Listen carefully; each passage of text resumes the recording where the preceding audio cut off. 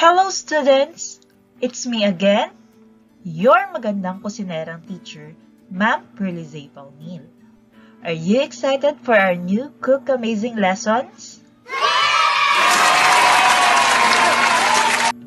What are you waiting for?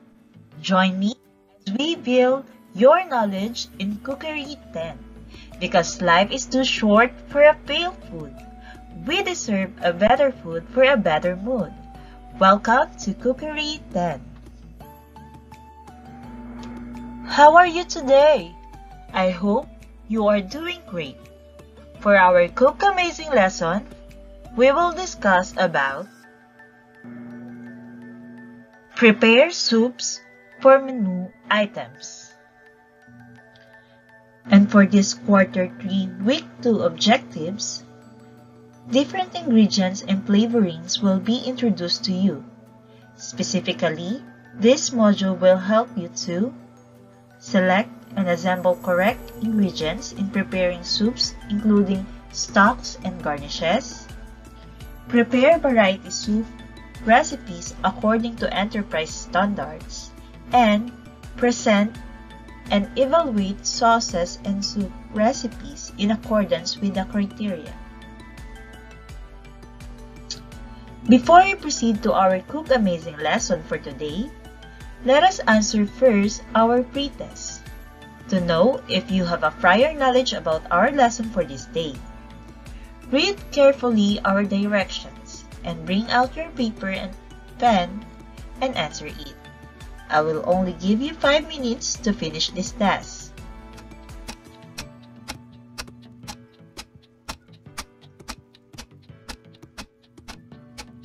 Alright, after assessing yourself, let us have a short recap regarding our lesson last meeting.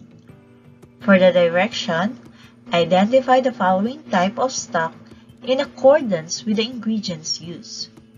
Choose your answer from the given choices on the box and write your answer in your answer sheets. I will give you 5 minutes to finish your work. Refrain from looking at your modules and avoid erasures. Ready? Timer starts now.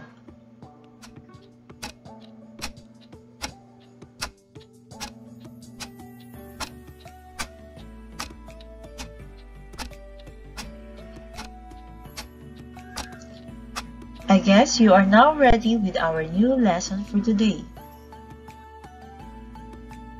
Prepare soups for menu items. Now what is soups? The word soup comes from the French word soup or soup or broth, which further comes from the Latin word soupa, which means bread soup in broth. It is based on stocks added with other ingredients for variety of flavors, consistency, appearance, and aroma. Soup is a refreshing, arom aromatized, and complete meal. It play a very it plays a very important role on the menu and serve as appetizer to stimulate the appetite for the rest of the heavier foods to follow.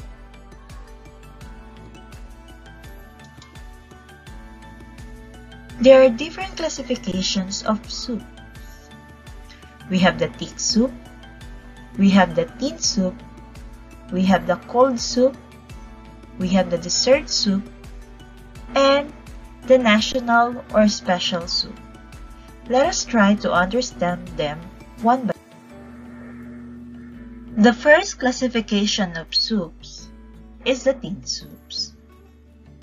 Thin soups are all based on clear, unthickened stock. They may be served plain or garnished with a variety of vegetables and meats. It is further divided into two categories, the pass soup or clear soup and unpassed soup.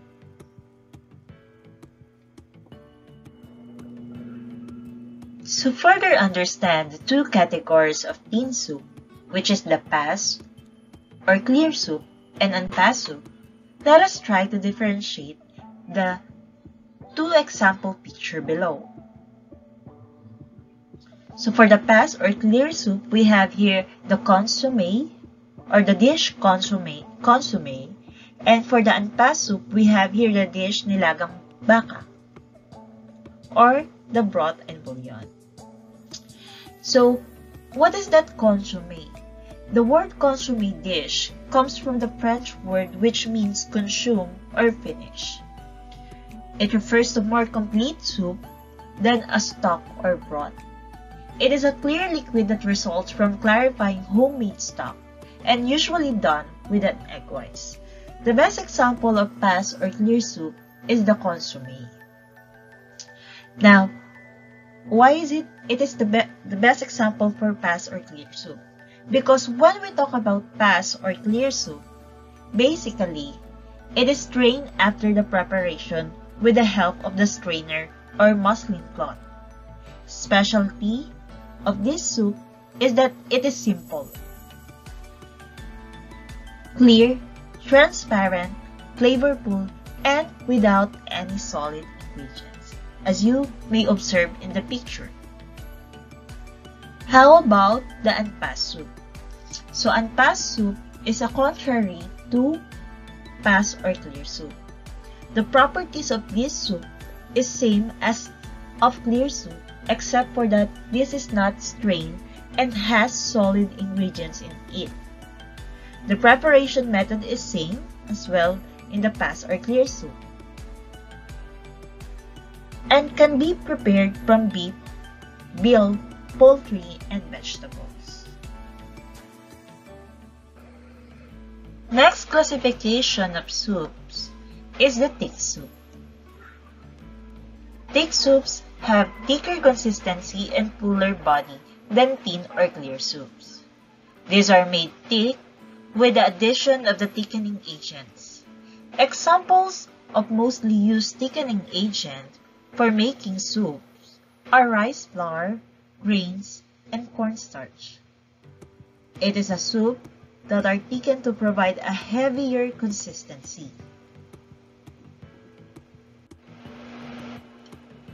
Here are some examples of thick soup. Number one is the cream soup, which is thickened with white roux and finished with cream. Roux is a combination of flour and fats, and it is called white roux because it is cooked slightly to retain its color. They can be made with a vegetable cooked until tender, pureed, stirred, and folded into soups. Next example of thick soup is the chowder.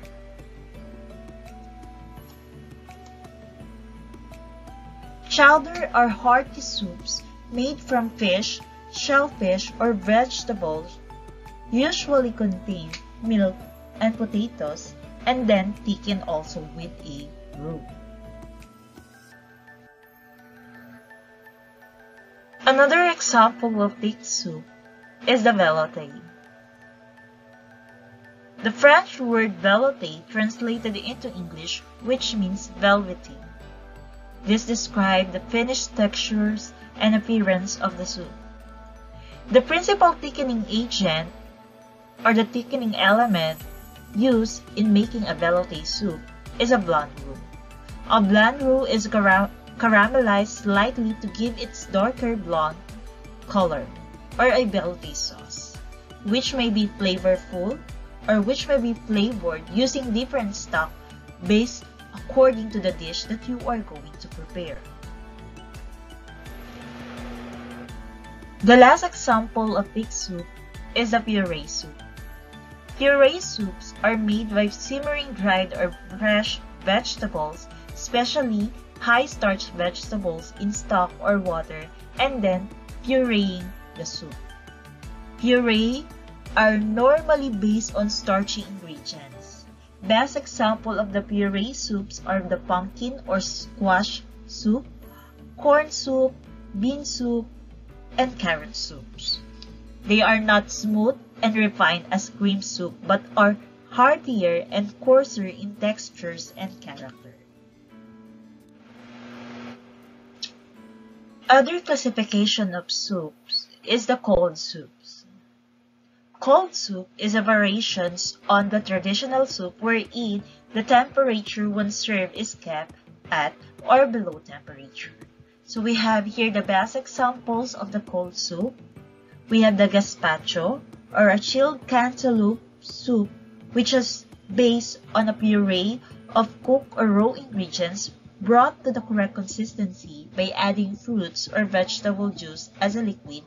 And the last one is the vichyssoise, which is cold, thick soup, simply cream soup served cold. So those are the those may those example may be unfamiliar to you because uh, gazpacho and vichyssoise are examples of national uh, national soup na i-discuss ko sa inyo later on.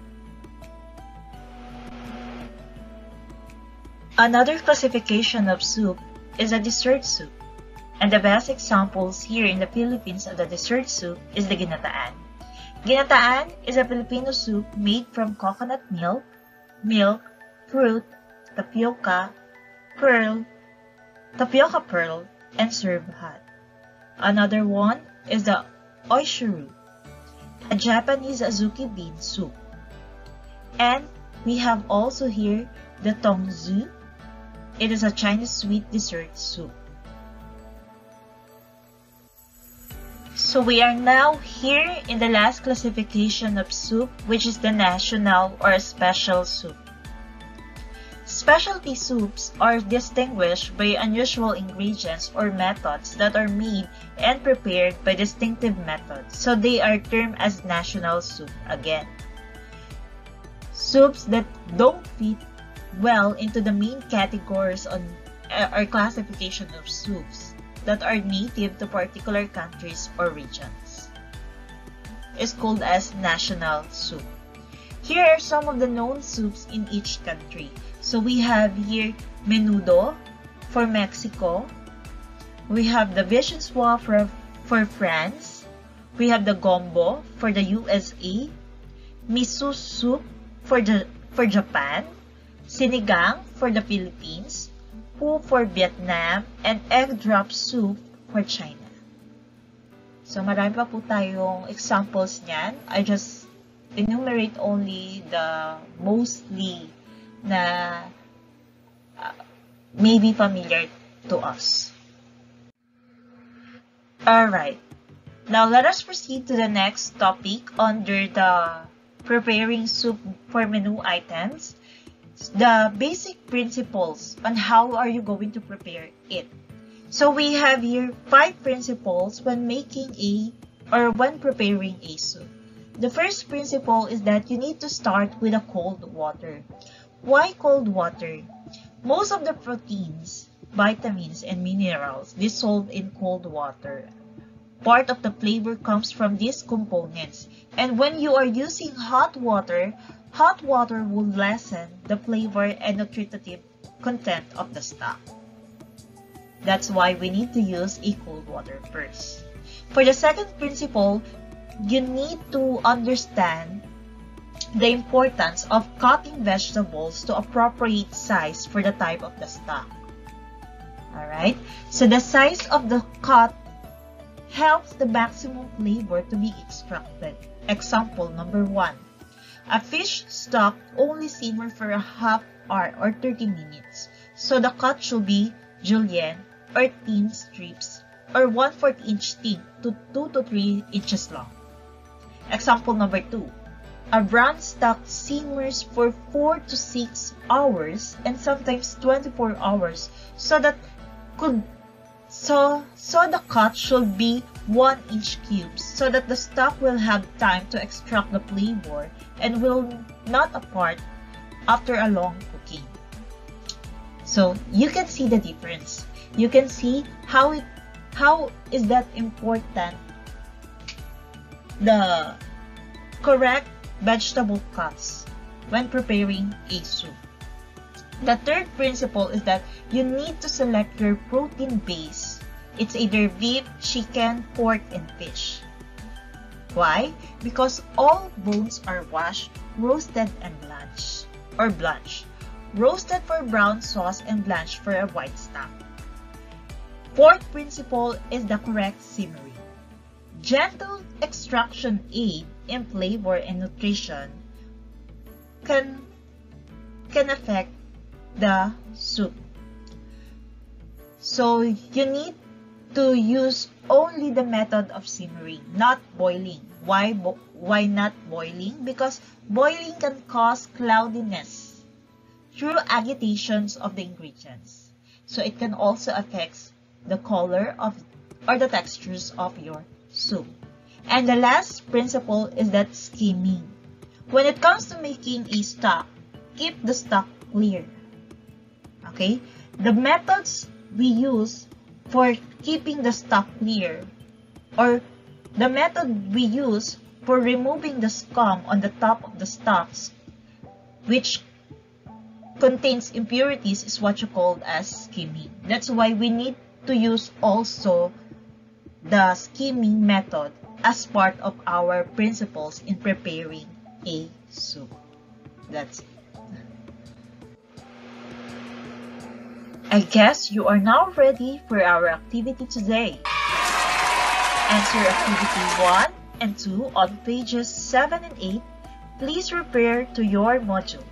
Read the direction carefully. Avoid erasures. Good luck! Remember, soup are based on stocks added with other ingredients for variety of flavor, consistency, appearance, and aroma. And soup is classified as thick soup, thin soup, cold soup, national or special soup. Alright, again, what are the different classifications of soups?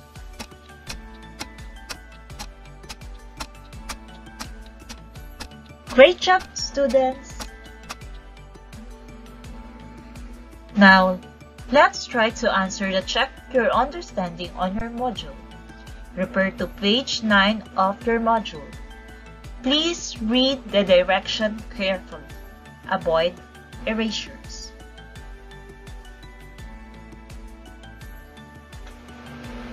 And for your post-test, read and understand the statement below.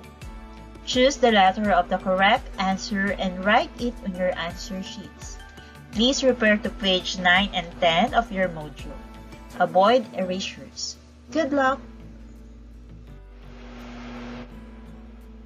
And for your reflection for the day, to further check your understanding towards the lesson, answer the following questions and write your answer on your answer sheets. 1. What are the things that you should consider when making soup? And number 2. What are the different kinds of sauce-based ingredients that can be used when making a soup? Please refer to page 10 of your module. Avoid erasures. Good luck! Thank you so much, students, again for watching today's video lesson. Once again, I'm your magandang kusinerang teacher, Ma'am Perlize Paunil, saying, Life is too short for a pale food. We deserve a better food for a better mood. See you again and thank you and God bless.